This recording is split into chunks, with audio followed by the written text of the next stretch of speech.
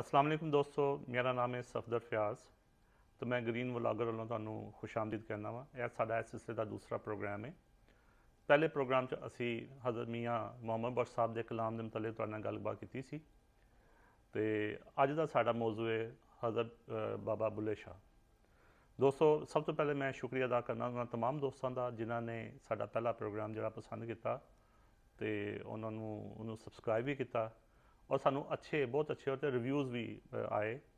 ਔਰ ਕੁਝ ਲੋਕਾਂ ਨੇ ਸਾਨੂੰ ਕਿਹਾ ਕਿ ਸਾਨੂੰ ਆਪਣੀ ਪੰਜਾਬੀ ਜਿਹੜੀ ਹੈ ਉਹ ਮਜ਼ੀਦ, ਆਸਾਨ ਲਫ਼ਜ਼ਾਂ 'ਚ ਕਰਨੀ ਚਾਹੀਦੀ, ਕਿਉਂਕਿ ਸਾਡੀ ਆਡੀਅנס ਜਿਹੜੀ ਹੈ ਉਹ ਉਹ ਲੋਕ ਨੇ ਜਿਨ੍ਹਾਂ ਨੂੰ ਪੰਜਾਬੀ, ਠੇਠ ਪੰਜਾਬੀ ਜਿਹੜੀ ਹੈ ਜਾਂ ਸਕੀਲ ਉਰਦੂ ਜਿਹੜੀ ਹੈ ਮੁਸ਼ਕਲ ਉਰਦੂ ਜਿਹੜੀ ਹੈ ਉਹ ਨਹੀਂ ਆਂਦੀ ਉਹ ਲੋਕ, ਉਹ ਨੇ ਜਿਹੜੇ ਪੰਜਾਬੀ ਵੀ ਬੋਲਦੇ ਨੇ ਥੋੜੀ ਜਿਹੀ ਪੰਜਾਬੀ ਆਂਦੀ ਹੈ ਥੋੜੀ ਜਿਹੀ ਉਹਨਾਂ ਨੂੰ ਉਰਦੂ ਆਂਦੀ ਹੈ ਤੇ ਜ਼ਿਆਦਾਤਰ ਇੰਗਲਿਸ਼ ਬੋਲਦੇ ਨੇ। ਤੇ ਉਹਨਾਂ ਨੇ ਕਿਹਾ ਕਿ ਤੁਸੀਂ ਆਪਣੀ ਜਿਹੜੇ ਅਗਲੇ ਵਲੌਗ ਜਿਹੜੇ ਕਰੋ, ਉਹਦੇ 'ਚ ਤੁਹਾਨੂੰ ਪੰਜਾਬੀ ਨੂੰ ਮੁਸ਼ਕਲ ਪੰਜਾਬੀ ਬੋਲਣ ਦੀ ਆਸਾਨ ਪੰਜਾਬੀ 'ਚ ਲੋਕਾਂ ਨੂੰ ਐਕਸਪਲੇਨ ਕਰੋ। ਤੇ ਅੱਜ ਮੈਂ ਤੁਹਾਨੂੰ ਬਾਬਾ ਬੁੱਲੇ ਸ਼ਾਹ ਸਾਹਿਬ ਦੀ ਜ਼ਿੰਦਗੀ ਦੇ ਥੋੜ੍ਹੇ ਜਿਹੇ ਹਾਲਾਤ ਦੇ ਮੁਤਲਕ ਵੀ ਆਗਾਹੀ ਦਿਆਂਗਾ। ਤੁਹਾਨੂੰ ਦੱਸਾਂਗਾ ਕਿ ਇਨਫੋਰਮੇਸ਼ਨ ਦਿਆਂਗਾ ਕਿ ਕੀ ਸਨ। ਤੇ ਉਸ ਤੋਂ ਬਾਅਦ ਤੁਹਾਨੂੰ ਉਹਨਾਂ ਦਾ ਜਿਹੜੇ ਸ਼ੇਰ ਨੇ, ਉਹਨਾਂ ਦਾ ਕਲਾਮ ਹੈ, ਉਹਦਾ ਤੁਹਾਨੂੰ ਅਸੀਂ ਮੈਂ ਤਰਜਮਾ ਕਰਕੇ ਥੋੜਾ ਜਿਹਾ ਟ੍ਰਾਂਸਲੇਸ਼ਨ ਈਜ਼ੀ ਟ੍ਰਾਂਸਲੇਸ਼ਨ ਜਿਹੜੀ ਹੈ ਉਹ ਆਸਾਨ ਪੰਜਾਬੀ ਦੇ ਜੋ ਤੁਹਾਨੂੰ ਦੱਸਾਂਗਾ। ਬਾਬਾ ਬੁੱਲੇ ਸ਼ਾਹ ਦਾ ਅਸਲ ਨਾਮ ਜਿਹੜਾ ਸੈਯਦ ਅਬਦੁੱਲਾ ਸ਼ਾਹ ਕਾਦਰੀ ਹੈ ਤੇ ਤੁਹਾਡਾ ਜਿਹੜਾ ਤਲਕ ਸੀ ਉਹ ਉਹਨਾਂ ਦਾ ਇੱਕ ਬੜੇ ਅ, ਮਜ਼ਹਬੀ ਘਰਾਣੇ ਸੈਯਦ ਫੈਮਿਲੀ ਦੇ ਨਾਲ ਸੀ ਤੇ ਉਹਨਾਂ ਦੇ ਵਾਲਦ ਸਾਹਿਬ ਵੀ ਜਿਹੜੇ ਸਨ ਉਹ ਇੱਕ ਮਸਜਿਦ ਦੇ ਇਮਾਮ ਸਨ ਤੇ ਉਹਨਾਂ ਦੀ ਪਦਾਇਸ਼ ਜਿਹੜੀ ਹੈ ਉਹ 1680 ਦੇ ਵਿੱਚ 16th ਸੈਂਚੁਰੀ ਦੇ ਵਿੱਚ ਬਾਬਲਪੁਰ ਦਾ ਇੱਕ ਮਸ਼ਹੂਰ گاؤں ਹੈ ਪਿੰਡ ਹੈ ਉੱਚ ਗਲਾਨੀਆਂ ਉਥੋਂ ਦੀ ਹੈ ਉਥੋਂ ਹਿਜਰਤ ਕਰਕੇ ਉਹ ਸਾഹിਵਾਲ ਇੱਕ ਛੋਟੇ ਜਿਹੇ ਕਸਬੇ 'ਚ ਆ ਕੇ ਉਹਨਾਂ ਨੇ ਰਿਹਾਇਸ਼ ਇਖਤਿਆਰ ਕੀਤੀ ਸੀ। ਤੇ ਬਚਪਨ ਉਹਨਾਂ ਦਾ ਉੱਥੇ ਉਸੇ ਇਲਾਕੇ 'ਚ ਗੁਜ਼ਰਿਆ ਤੇ ਕਸੂਰ ਦੀ ਇੱਕ ਛੋਟੀ ਜਿਹੀ ਮਦਰਸਾ ਹੈ। ਉੱਥੇ ਉਹਨਾਂ ਨੇ ਆਪਣੀ ਇਬਤਦਾਈ ਤਾਲੀਮ ਜਿਹੜੀ ਹੈ ਹਾਸਲ ਕੀਤੀ ਹੈ। ਉਹਨਾਂ ਦੇ ਉਸਤਾਦ ਜਿਹੜੇ ਸਨ, ਖਵਾਜਾ ਹਾਫਿਜ਼ ਗੁਲਾਮ ਮੁਰਤਜ਼ਾ ਕਸੂਰੀ ਸਨ। ਇਹ ਉਹੀ ਖਵਾਜਾ ਹਾਫਿਜ਼ ਗੁਲਾਮ ਮੁਰਤਜ਼ਾ ਕਸੂਰੀ ਨੇ ਜਿਹੜੇ ਹਜ਼ਰਤ ਵਾਰਿਸ ਸ਼ਾਹ ਸਾਹਿਬ ਦੇ ਵੀ ਉਸਤਾਦ ਨੇ। ਤੇ ਵਾਰਿਸ ਸ਼ਾਹ ਉਹਨਾਂ ਨੇ ਹੀ ਲਿਖੀ। ਬਾਬਾ ਜੀ ਨੇ ਦੋ ਕਿਤਾਬਾਂ ਲਿਖੀਆਂ, ਜਿਹਦਾ ਨਾਮ ਗੁਰਮੁਖੀ ਤੇ ਸ਼ਾਹਮੁਖੀ ਨੇ। ਤੇ ਦੋਸਤੋ, ਇਹ ਉਹ ਜ਼ਮਾਨਾ ਹੈ ਜਦੋਂ ਔਰੰਗਜ਼ੇਬ ਆਲਮਗੀਰ ਦਾ ਜ਼ਮਾਨਾ ਖਤਮ ਹੋਇਆ ਸੀ, ਤੇ ਜ਼ਾਹਰੀ ਜਿਹੜੀ ਇਬਾਦਤ ਹੈ, ਉਹ ਤੇ ਬਹੁਤ ਜ਼ਿਆਦਾ ਜ਼ੋਰ ਦਿੱਤਾ ਜਾਂਦਾ ਸੀ। ਲੇਕਿਨ ਬਾਬਾ ਬੁੱਲੇ ਸ਼ਾਹ ਨੇ ਉਸ ਜ਼ਮਾਨੇ 'ਚ ਆਪਣਾ ਇੱਕ ਇੱਕ ਆਪਣਾ ਵੱਖਰਾ ਜਿਹੜਾ ਹੈ ਉਹ ਅਸਲੋਬ ਅਪਣਾਇਆ, ਇੱਕ ਵੱਖਰਾ ਰੰਗ ਅਪਣਾਇਆ। ਉਹਨਾਂ ਨੇ ਐਸੀ ਤੇ ਜ਼ੋਰ ਦਿੱਤਾ ਕਿ ਜ਼ਾਹਰੀ ਇਬਾਦਤ ਕੁਝ ਨਹੀਂ ਹੈ।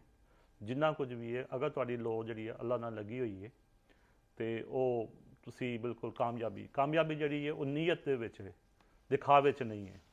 ਤੇ ਅੱਜ ਉਹਨਾਂ ਦੇ ਅਸੀਂ ਕੁਝ ਸ਼ੇਅਰ ਜਿਹੜੇ ਨੇ, ਉਹ ਤੁਹਾਨੂੰ ਉਹਨਾਂ ਦਾ ਤਰਜਮਾ ਕਰਕੇ ਦੱਸਨੇ ਆ। ਤੇ ਮੈਨੂੰ ਉਮੀਦ ਹੈ ਤੁਹਾਨੂੰ ਪਸੰਦ ਆਣਗੇ। ਉਹਨਾਂ ਦਾ ਇੱਕ ਕਲਾਮ ਹੈ ਕਿ ਸਿਰ ਤੇ ਟੋਪੀ ਤੇ ਨੀਅਤ ਖੋਟੀ। ਲੈਣਾ ਕੀ ਸਿਰ ਟੋਪੀ, ਧਰ ਕੇ ਹੂ। ਸਿਰ ਤੇ ਟੋਪੀ ਤੇ ਨੀਅਤ ਖੋਟੀ, ਲੈਣਾ ਕੀ ਸਿਰ ਟੋਪੀ ਧਰ ਕੇ ਹੂ ਤਸਬੀਹ ਫਿਰੀ ਪਰ ਦਿਲ ਨਾ ਫਿਰਿਆ, ਲੈਣਾ ਕੀ ਤਸਬੀਹ ਹੱਥ ਫੜ ਕੇ ਹੂ। ਚਿੱਲੇ ਕਿਤੇ ਪਰ ਰੱਬ ਨਾ ਮਿਲਿਆ, ਲੈਣਾ ਕੀ ਚਿੱਲਿਆਂ ਵਿੱਚ ਵੜ ਕੇ ਹੂ। ਬੁੱਲੇ ਸ਼ਾਹ, ਜਾਗ ਬਿਨਾ ਦੁੱਧ ਨਹੀਂ ਜੰਮਦਾ, ਭਾਵੇਂ ਲਾਲ ਹੋਵੇ ਕੜ ਕੜ ਕੇ ਹੂ। ਤੇ ਮੈਂ ਤੁਹਾਨੂੰ ਵੈਸੇ ਤੇ ਹੈ ਬੜੀ ਆਸਾਨ ਹੈ ਲੇਕਿਨ ਫਿਰ ਵੀ ਮੈਂ ਤੁਹਾਨੂੰ ਥੋੜਾ ਤਰਜਮਾ ਦੱਸ ਛੱਡਣਾ ਕਿ ਸਿਰਫ ਮਕਸਦ ਸਿਰ ਤੇ ਟੋਪੀ ਰੱਖਣ ਦਾ ਨਹੀਂ ਹੈ। ਕਿ ਤੁਸੀਂ ਜ਼ਾਹਰੀ ਇਬਾਦਤ ਦੇ ਤੌਰ ਤੇ ਸਿਰ ਤੇ ਟੋਪੀ ਰੱਖ ਲਓ, ਲੇਕਿਨ ਤੁਸੀਂ ਅਗਰ ਆਪਣੀ ਨੀਅਤ ਜਿਹੜੀ ਹੈ, ਉਹਨੂੰ ਦਰੁਸਤ ਨਹੀਂ ਕੀਤਾ, ਤੇ ਉਸ ਟੋਪੀ ਨੂੰ ਸਿਰ ਤੇ ਰੱਖਣ ਦਾ ਵੀ ਕੋਈ ਫਾਇਦਾ ਨਹੀਂ ਹੈ। ਰੱਬ ਜਿਹੜਾ ਵੇ, ਉਹਨੂੰ ਜਿਹੜੀਆਂ ਲੋਕ ਦਿਖਾਵਾ ਹੈ, ਉਹਨੂੰ ਪਸੰਦ ਨਹੀਂ ਫਰਮਾਉਂਦਾ। ਜੇ ਤੁਸੀਂ ਹੱਥ 'ਚ ਤਸਬੀਹ ਫੜ ਲਈ ਹੈ, ਪਰ ਦਿਲ ਨਹੀਂ ਫਿਰਿਆ, ਕਿ ਤਸਬੀਹ ਫੜ ਕੇ ਤੇ ਤੁਸੀਂ ਹਰ ਵਕਤ ਅੱਲਾਹੂ ਅੱਲਾਹੂ ਅੱਲਾਹੂ ਕਰ ਰਹੇ ਹੋ ਲੇਕਿਨ ਦਿਲ ਤੁਹਾਡਾ ਜਿਹੜਾ ਹੈ, ਉਹ ਸ਼ੈਤਾਨ ਦੇ ਅਹਿਕਾਮਾਤ ਦੇ ਉੱਤੇ ਲੱਗਾ ਹੈ, ਸ਼ੈਤਾਨ ਦੇ ਪਿੱਛੇ ਲੱਗਾ ਹੈ ਤੇ ਉਸ ਤਸਵੀਰ ਨੂੰ ਹੱਥ ਫੜ ਕੇ ਕੋਈ ਫਾਇਦਾ ਨਹੀਂ ਹੈ। ਚਿੱਲੇ ਕਿਤੇ ਪਰ ਰੱਬ ਨਾ ਮਿਲਿਆ, ਲੈਣਾ ਕੀ ਚਿੱਲਿਆਂ ਵਿੱਚ ਵੜ ਕੇ ਹੋ ਕਿ ਜੇ ਅਗਰ ਤੁਸੀਂ ਚਿੱਲੇ ਵੀ ਕਰੋ, ਚਿੱਲਾ ਕਹਿੰਦੇ ਨੇ ਕਿ ਤੁਸੀਂ ਪਹਿਲੇ ਜ਼ਮਾਨੇ 'ਚ ਲੋਕ ਤਾਰ ਕੇ ਦੁਨੀਆ ਹੋ ਜਾਂਦੇ ਸਨ, ਦੁਨੀਆ ਨੂੰ ਛੱਡ ਛੱਡਦੇ ਸਨ ਆਈਸੋਲੇਸ਼ਨ 'ਚ ਚਲੇ ਜਾਂਦੇ ਸਨ ਤੇ ਮੈਡੀਟੇਸ਼ਨ ਕਰਦੇ ਸਨ। ਉੱਥੇ ਜਾ ਕੇ ਕੀ ਹੈ ਕਿ ਉਹ 'ਚ ਚਿੱਲਾ ਕਰਦੇ ਸਨ 40 ਡੇਜ਼ ਜਾਂ 2-2 ਮਹੀਨੇ 3-3 ਮਹੀਨੇ ਜੰਗਲਾਂ ਚਲੇ ਜਾਂਦੇ ਸਨ। ਤੇ ਬਾਬਾ ਜੀ ਜਿਹੜੇ ਨੇ, ਬਾਬਾ ਬੁੱਲੇ ਸ਼ਾਹ ਜਿਹੜੇ ਨੇ, ਉਹ ਇਸ ਚੀਜ਼ ਨੂੰ ਸਖਤੀ ਨਾਲ ਮਨਾ ਕਰਦੇ ਨੇ ਕਿ ਚਿੱਲਿਆਂ ਕਰਨ ਦਾ ਕੋਈ ਫਾਇਦਾ ਨਹੀਂ। ਕਿ ਅਗਰ ਤੁਸੀਂ ਚਿੱਲੇ ਕਿਤੇ, ਲੇਕਿਨ ਕੀ ਕੀਤਾ? ਆਪਣੀ ਨੀਅਤ ਠੀਕ ਨਹੀਂ ਕੀਤੀ। ਤੇ ਨੀਅਤ ਠੀਕ ਕਰਨ ਵਾਸਤੇ ਸਭ ਤੋਂ ਪਹਿਲਾ ਕੰਮ ਹੈ ਵੇ ਕਿ ਆਪਣੇ ਆਪ ਨੂੰ ਆਪਣੀ ਜਿਹੜਾ ਰੁਖ ਹੈ ਉਹ ਰੱਬ ਵੱਲ ਕਰੋ। ਰੱਬ ਵੱਲ ਜਿਨੇ ਆਪਣਾ ਰੁਖ ਰੱਬ ਰੱਬ ਵੱਲ ਕਰ ਲਿਆ, ਉਹਦਾ ਉਹਦੀ ਨਮਾਜ਼ਾਂ ਵੀ ਕਬੂਲ ਨੇ, ਉਹਦੀਆਂ ਸਾਰੀਆਂ ਇਬਾਦਤਾਂ ਵੀ ਕਬੂਲ ਨੇ ਔਰ ਸਭ ਕੁਝ ਹੀ ਕਬੂਲ ਹੈ। ਤੇ ਅੱਗੇ ਜਾ ਕੇ ਫਰਮਾਉਂਦੇ ਨੇ, ਬੁੱਲੇ ਸ਼ਾ ਜਾਗ ਬਿਨਾ ਦੁੱਧ ਨਹੀਂ ਜੰਮਦਾ, ਭਾਵੇਂ ਲਾਲ ਹੋਵੇ, ਕੜ ਕੜ ਕੇ ਹੂ। ਹੁਣ ਐਸੇ ਜਾਗ ਦਾ ਮਤਲਬ ਜਿਹੜਾ ਹੈ, ਬਾਬਾ ਬੁੱਲੇ ਸ਼ਾਹ ਅਕਸਰ ਆਪਣੇ ਕਲਾਮ ਦੇ ਵਿੱਚ ਬਾਬਰ ਫਰਮਾਉਂਦੇ ਨੇ ਕਿ ਤੁਹਾਨੂੰ ਕਿਸੇ ਦਾ ਜਿਹੜਾ ਹੈ, ਉਹ ਮੁਰਸ਼ਦ ਫੜਨਾ ਚਾਹੀਦਾ ਹੈ।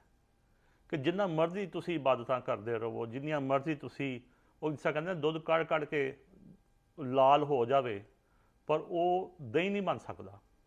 ਉਹ 'ਚ ਜਾਗ ਨਹੀਂ ਲੱਗ ਸਕਦੀ। ਜਾਗ ਕੀ, ਜਾਗ ਕਹਿੰਦੇ ਸਨ ਕਿ ਪੁਰਾਣੇ ਜ਼ਮਾਨੇ 'ਚ ਉਸ ਦਹੀਂ ਜਮਾਨਾ ਹੁੰਦਾ ਸੀ, ਛੋਟਾ ਜਿਹਾ ਇੱਕ, ਉਹ ਖੱਟਾ ਜਿਹੜਾ ਵੇ, ਉਹ ਜਿਹੜਾ ਪੁਰਾਣਾ ਦਹੀਂ ਹੈ ਜਾਂ ਖੱਟਾ ਵੇ, ਉਹ ਉਸ ਕੜੇ ਦੁੱਧ 'ਚ ਥੋੜਾ ਜਿਹਾ ਪਾ ਦਿੰਦੇ ਸਨ ਰਾਤ ਨੂੰ। ਤੇ ਸਵੇਰ ਉੱਠ ਕੇ ਉਹ ਜੋ ਦੁੱਧ ਹੈ ਉਹ ਦਹੀਂ ਬਣ ਗਿਆ ਹੁੰਦਾ ਸੀ। ਤੇ ਬੁੱਲੇ ਸ਼ਾਹ ਫਰਮਾਉਂਦੇ ਨੇ ਕਿ ਜਾਗ ਬਿਨਾ ਦੁੱਧ ਨਹੀਂ ਜੰਮਦਾ, ਕਿ ਜਦ ਤੱਕ ਜਾਗ ਨਾ ਲੱਗੇ, ਜਦ ਤੱਕ ਤੁਹਾਨੂੰ ਰਹਿਨਮਾਈ ਨਾ ਲੱਭੇ, ਉਹ ਤੁਹਾਨੂੰ ਸਿੱਧਾ ਰਾਹ ਜਿਹੜਾ ਹੈ, ਉਹ ਮਿਲ ਨਹੀਂ ਸਕਦਾ। ਮਤਲਬ ਇਹੀ ਹੈ ਕਿ ਤੁਹਾਨੂੰ ਇੱਕ ਰਹਿਨਮਾਈ ਦੀ ਜ਼ਰੂਰਤ ਹੈ। ਅਗਰ ਤੁਹਾਨੂੰ ਮੁਰਸ਼ਦ ਚੰਗਾ ਮਿਲ ਗਿਆ, ਤੇ ਸਮਝ ਲਓ, ਤੁਹਾਡਾ ਬੇੜਾ ਪਾਰ ਹੋ ਗਿਆ। ਤੇ ਦੋਸਤੋ, ਇਹ ਇੱਕ ਆਸਾਨ ਜਿਹਾ ਹੈ ਸੀ। ਤੇ ਇੱਕ ਹੋਰ ਮੈਂ ਤੁਹਾਨੂੰ ਉਹਨਾਂ ਦਾ ਕਲਾਮ ਹੈ, ਜਿਹੜਾ ਤੁਹਾਡੇ ਨਾਲ ਮੈਂ ਜ਼ਿਕਰ ਕਰਨਾ ਚਾਹੁੰਦਾ ਵਾਂ। ਅਲਿਫ ਅੱਲਾ ਦਿਲ ਰਤਾ ਮੇਰਾ, ਮੈਨੂੰ ਬੇ ਦੀ ਖਬਰ ਨਾ ਕਾਈ, ਬੇ ਪੜਿਆ ਕੁਝ ਸਮਝ ਨਾ ਆਵੇ। ਅਲਫ ਲਦਤ ਦੀ ਆਈ, ਐਨ ਤੇ ਗੈਨ ਦਾ ਫ਼ਰਕ ਨਾ ਜਾਣਾ। ਇਹ ਗੱਲ ਅਲਫ ਸਮਝਾਈ, ਬੁੱਲਿਆ ਕੋਲ ਅਲਫ ਦੇ ਪੂਰੇ, ਜਿਹੜੇ ਦਿਲ ਦੀ ਕਰਨ ਸਫ਼ਾਈ। ਤੇ ਬੇਸਿਕਲੀ ਉਹ ਅੱਜ ਕਹਿੰਦੇ ਨੇ ਕਿ ਅੱਲਾ ਦੇ ਜਦ ਲਫ਼ਜ਼, ਪਹਿਲਾ ਲਫ਼ਜ਼ ਹੈ ਸਾਡੀ ਜਿਸ ਰੂਫ ਤਹਜੀ ਆ, ਅਲਿਫ ਜਿਹੜਾ ਹੈ, ਉਹਨੇ ਮੇਰਾ ਦਿਲ ਨੂੰ ਇੰਜ ਭਰ ਛੱਡਿਆ ਵਾਹਦਤ ਨੇ ਅੱਲਾਹ ਤਾਲਾ ਦੇ ਨਾਂ ਦੇ ਇੱਕ ਅਲਫ ਨੇ ਮੇਰਾ ਦਿਲ ਇੰਜ ਭਰ ਛੱਡਿਆ ਕਿ ਮੈਨੂੰ ਬੇ ਦੀ ਖਬਰ ਹੀ ਕੋਈ ਨਹੀਂ। ਤੇ ਮੈਨੂੰ ਬੇ ਤੱਕ ਪਹੁੰਚਣ ਦਾ ਹਾਲੀ ਮੌਕਾ ਹੀ ਨਹੀਂ ਮਿਲਿਆ। ਮੇਰੇ ਵਾਸਤੇ ਅਲਫ ਦੀ ਜਿਹੜੀ ਉਹ ਜਿਹੜੀ ਹਕੀਕਤ ਹੈ, ਉਹੀ ਐਡੀ ਵੱਡੀ ਹੈ ਕਿ ਮੈਨੂੰ ਬੇ ਤੱਕ ਪਹੁੰਚਣ ਦੀ ਕੋਈ ਜ਼ਰੂਰਤ ਹੀ ਕੋਈ ਨਹੀਂ। ਤੇ ਨਾਲੇ ਫਰਮਾਉਂਦੇ ਨੇ ਕਿ ਬੇ ਪੜਿਆਂ ਕੋਈ ਸਮਝ ਨਾ ਆਵੇ, ਅਲਫ ਲਜ਼ਤ ਦੀ ਆਈ ਕਿ ਮੈਨੂੰ ਅਲਫ ਦੀ ਇੰਨੀ ਕੁ ਲਜ਼ਤ ਮਿਲੀ ਹੈ, ਉੱਥੋਂ ਹੀ ਇੰਨਾ ਕੁ ਸਕੂਨ ਮਿਲਿਆ ਹੈ ਕਿ ਮੈਨੂੰ ਬੇ ਨੂੰ ਪੜਨ ਦੀ ਕੁਝ ਸਮਝ ਵੀ ਨਹੀਂ ਆ ਰਹੀ। ਤੇ ਅੱਗੇ ਜਾ ਕੇ ਫਰਮਾਉਂਦੇ ਨੇ ਤੇ ਇਹ ਤੇ ਐਨ ਤੇ ਗੈਨ ਦਾ ਫ਼ਰਕ ਨਾ ਜਾਣਾ। ਇਹ ਗੱਲ ਅਲਫ ਨੇ ਸਮਝਾਈ ਕਿ ਇੱਕ ਨੁਕਤੇ ਦਾ ਫ਼ਰਕ ਹੈ। ਅੱਗੇ ਜਾ ਕੇ ਉਹਨਾਂ ਦਾ ਇੱਕ ਕਲਾਮ ਹੀ ਹੈ, ਗੱਲ ਇੱਕ ਗੱਲ ਨੁਕਤੇ ਵਿੱਚ ਮੁੱਕਦੀ ਹੈ।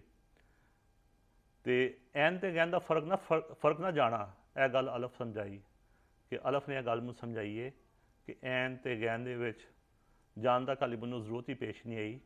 ਕਿ ਉਸ ਨੁਕਤੇ ਨਾਲ ਕੀ ਫ਼ਰਕ ਪੈਂਦਾ ਹੈ, ਉਹ ਸਿਰਫ ਮੇਰਾ ਰੱਬ ਜਾਣਦਾ ਹੈ। ਬੁੱਲਿਆ ਕੋਲ ਅਲਫ ਦੇ ਪੂਰੇ, ਜਿਹੜੇ ਦਿਲ ਦੀ ਕਰਨ ਦੇ- ਦਿਲ ਦੀ ਕਰਨ ਸਫ਼ਾਈ, ਕਿ ਉਹ ਆਪਣੇ ਆਪ ਨੂੰ ਮੁਖਾਤਬ ਹੋ ਕੇ ਕਹਿੰਦੇ ਨੇ ਬੁੱਲਿਆ ਕਿ ਕੋਲ ਅਲਫ ਦੇ ਪੂਰੇ। ਅਲਫ ਨੇ ਆਪਣੇ, ਅਗਰ ਤੁਸੀਂ ਅਲਫ ਨੂੰ ਪਾ ਜਾਵੋ, ਤੇ ਸਮਝੋ ਕਿ ਤੁਹਾਡੇ ਆਸੇ ਉਹੀ ਕਾਫੀ ਹੈ ਉਹ ਤੁਹਾਡੇ ਦਿਲ ਦੀ ਸਫ਼ਾਈ ਕਰਨ ਵਾਸਤੇ ਪੂਰੇ ਨੇ। ਤੁਹਾਡਾ ਰੂਹ ਜਿਹੜੀ ਹੈ ਤੁਹਾਡਾ ਦਿਲ ਜਿਹੜਾ ਵੇ ਤੁਹਾਡਾ ਜ਼ਮੀਰ ਜਿਹੜਾ ਵੇ ਉਹ ਅੱਲਾ ਵੱਲ ਜਿਹੜਾ ਹੈ ਨਾ ਉਹ ਜਾ ਸਕਦਾ ਹੈ ਤੇ ਦੋਸਤੋ ਅ, ਅੱਜ ਦੋਸਤੋ ਅੱਜ ਅਸੀਂ ਆਪਣਾ ਪ੍ਰੋਗਰਾਮ ਦਾ ਇਖਤਤਾਮ ਇਸ ਅੱਛੀ ਗੱਲ ਨਾਲ ਕਰਨੇ ਆ ਹੋ ਸਕਦਾ ਹੈ ਕਿ ਤੁਹਾਡੀ ਇਹ ਅੱਛੀ ਗੱਲ ਜਿਹੜੀ ਹੈ ਉਹ ਤੁਹਾਡੀ ਜ਼ਿੰਦਗੀ ਦੇ ਵਿੱਚ ਕੋਈ ਤਬਦੀਲੀ ਲੈ ਕੇ ਆਏ ਕਿ ਇਨਸਾਨ ਦੂਸਰੇ ਇਨਸਾਨ ਨੂੰ ਜੋ ਸਭ ਤੋਂ ਵੱਡਾ ਤੋਹਫਾ ਦੇ ਸਕਦਾ ਹੈ عطا ਕਰ ਸਕਦਾ ਹੈ, ਉਹ ਵਕਤ ਹੈ ਇਸ ਤੋਂ ਕੀਮਤੀ ਤੋਹਫਾ ਇਨਸਾਨ ਕਿਸੇ ਇਨਸਾਨ ਨੂੰ ਨਹੀਂ ਦੇ ਸਕਦਾ ਤੇ ਜਿਹੜੇ ਲੋਕ ਤੁਹਾਨੂੰ ਵਕਤ ਦਿੰਦੇ ਨੇ ਜੋ ਜਿਹੜੇ ਤੁਹਾਡੀ ਅਹਿਮੀਅਤ ਨੂੰ ਜਾਣਦੇ ਨੇ, ਤੁਹਾਡੇ, ਤੁਹਾਡਾ ਖਿਆਲ ਕਰਦੇ ਨੇ, ਉਹਨਾਂ ਨੂੰ ਸਮਝੋ ਕਿ ਤੁਹਾਡੇ ਵਾਸਤੇ ਕੀਮਤੀ ਲੋਕ ਨੇ। ਤੁਸੀਂ ਉਹਨਾਂ ਦਾ ਖਿਆਲ ਕਰੋ। ਤੇ ਅਗਰ ਤੁਹਾਨੂੰ ਇਹ ਸਾਰੀਆਂ ਚੀਜ਼ਾਂ ਅੱਛੀਆਂ ਲੱਗੀਆਂ ਨੇ, ਤੇ ਸਾਡੇ ਪ੍ਰੋਗਰਾਮ ਨੂੰ ਸਬਸਕ੍ਰਾਈਬ ਕਰੋ ਤੇ ਸ਼ੇਅਰ ਕਰੋ।